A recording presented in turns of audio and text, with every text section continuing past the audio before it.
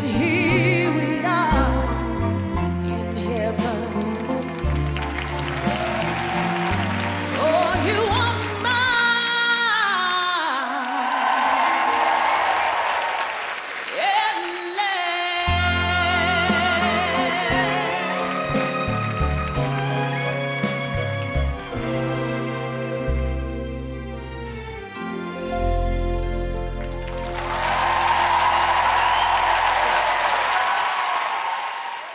Click here for all the latest Strictly news and gossip. Some good gossip, let me tell you. And click here to subscribe. If you don't, Tess and I will come and find you with our pet rabbits.